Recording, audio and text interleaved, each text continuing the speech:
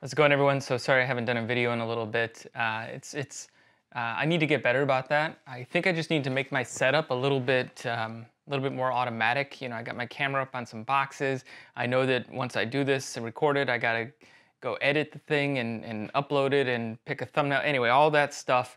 And then I think, well, I could just sit down and start coding or, or working on something and and not have to be bothered with the, the whole the whole setup. Although, of course, once I do get a video up, I'm pretty happy about it. So I just keep that in mind. Um, I think in my next place, well, I'm in an Airbnb right now. I think in my next place, I'm just gonna have a corner of a room or something dedicated with everything already set up where if I get an idea or thing I wanna talk about, I'll just sit down, hit record, and then some magic will happen where you know the audio and video will just be uploaded automatically over Wi-Fi to my computer, ready to go. Maybe just edit a few things together and hit upload and just streamline the whole process. It's it's fairly manual still, even though now that I've stopped editing, you know, editing out like just going through and editing everything out like a lot of YouTubers do. I do like the just talking sort of thing, even if there are pauses and and I'm okay with that for now. So there's not too much editing I do these days, um, and uh, we'll see. We'll see where that goes. So in any case, the thing I did want to talk about was focus and, and coding. And a bunch of people have written to me recently, which which has been awesome. Um, I've gotten a couple amazing messages, uh, you know, on, on Instagram.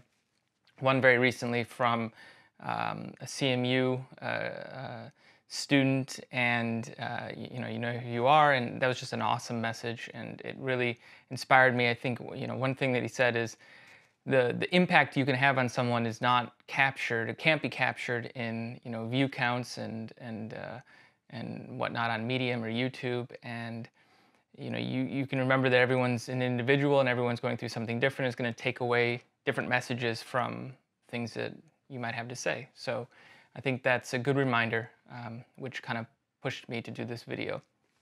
And the thing I wanted to talk about is just learning how to code. Uh, and how people should approach it. A number of people have told me that they're learning how to code and you know they, they read my article uh, abc which i wrote i think the original was eight years ago now um, which is a while ago um, but uh, i think it still applies today. And the whole idea is that you know if you want to get good at coding you just like anything you need to you need to do it you need to do a lot of, of it you need to you know you need to work hard at it. Um, there's no shortcuts really. I think you know, to be at the top of your game, you need to work hard. Um, you know, if you're pick pick any, you know, really anything, even if you're washing dishes, to be the best dishwasher. And I used to wash dishes at uh, that's how I got started. My first job at Boston Market. Um, if you want to be the best, you got to work hard, right? There was another guy. He worked his ass off, and he was much better and faster at, at, at getting through a stack of dishes than I was. You know, when I was like 16 years old. Um, but the question is, like what what are you working hard at, right? Like you kind of have to pick your game. Uh, if you want to be at the top of your game, think about what game you're playing, right?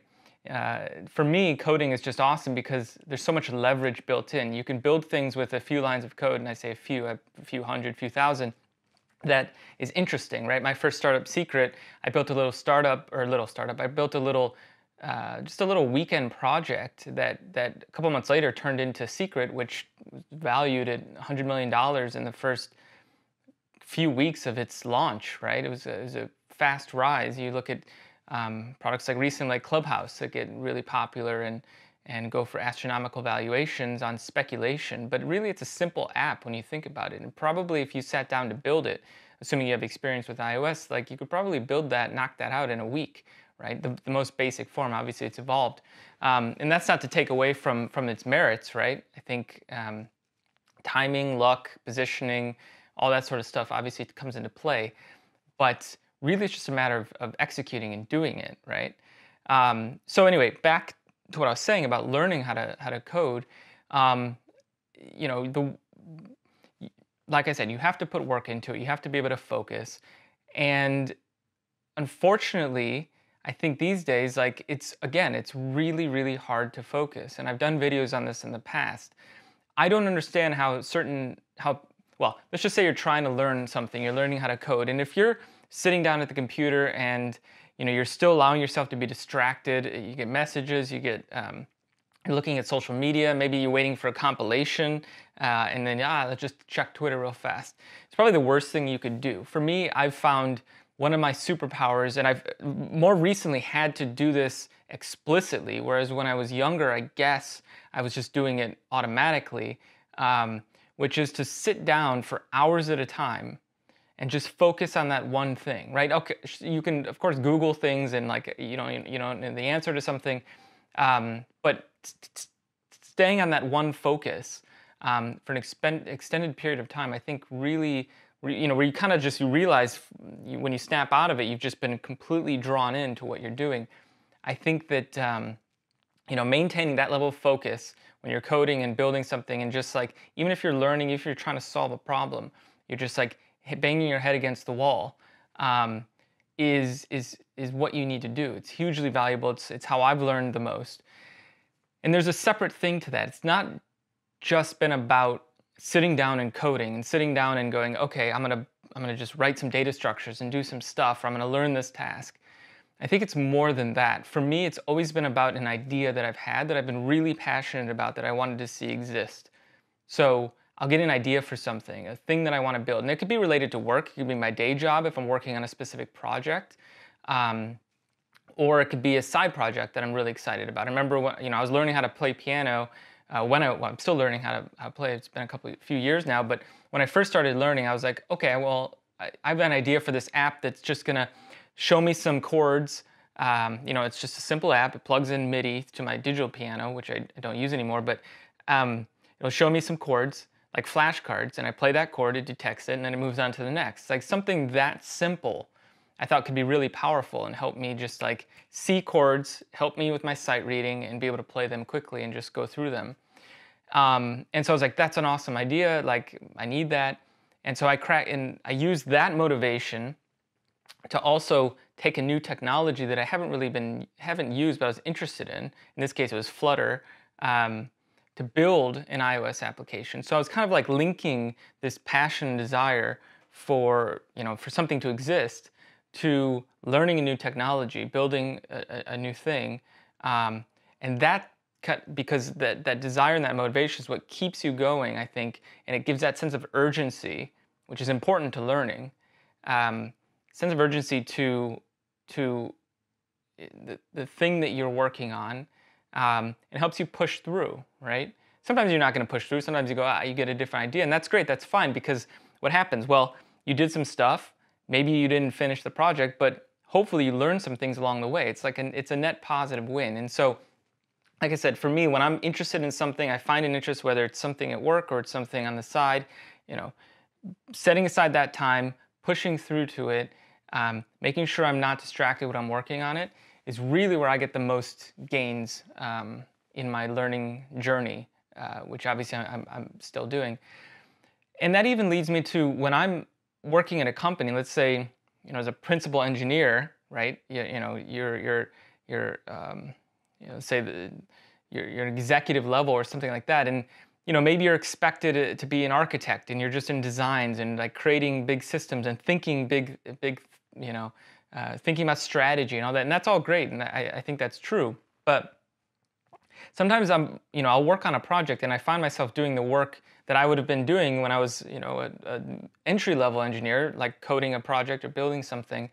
Um, and I think that's okay because a, I'm coding and I love it, right? I'm, I'm building something, I'm doing something that um, you know, needs to exist at the company that I'm working at. I need to build. It's for a project, so it's a net positive.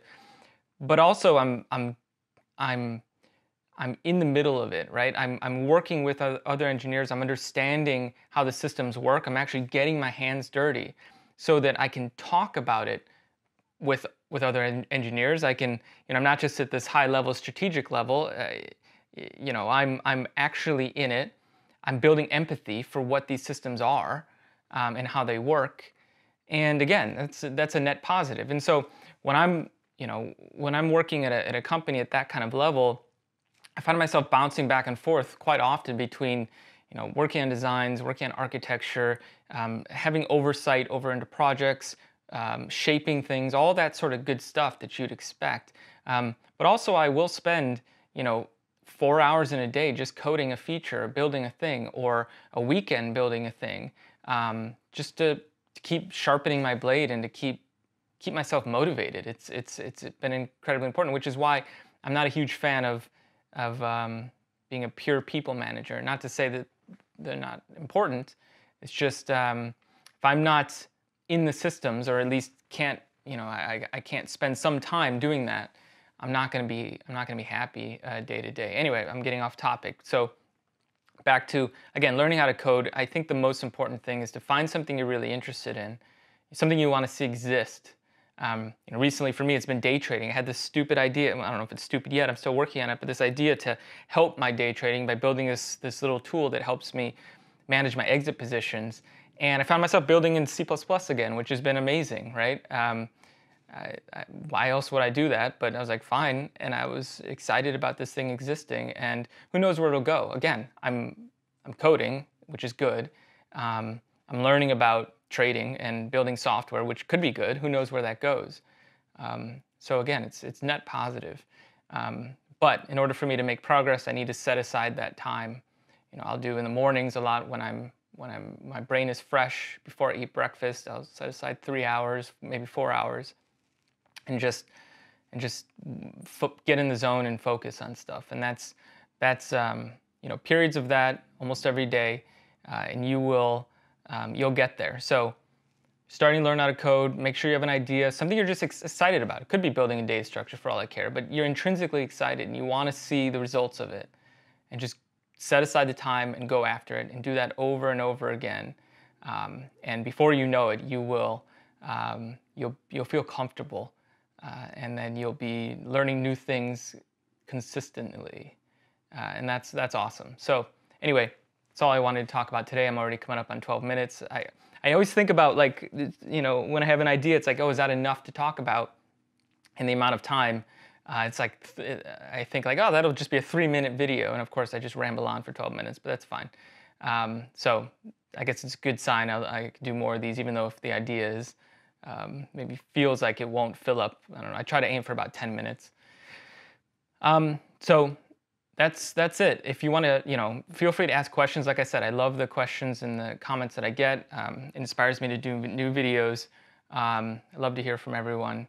And uh, you know, ABC, I guess, always be coding is is um, is, is my philosophy and, and how I think about these things. So um, please uh, subscribe or, or um, most importantly, just leave a comment. I, I, love the comments. That's the most important thing. I don't likes and all that's good, but um, comments are where it's at. So um, uh, I encourage you to do that. So anyway, if you're watching this on Friday, enjoy your Friday, enjoy your weekend, uh, and we will talk next time.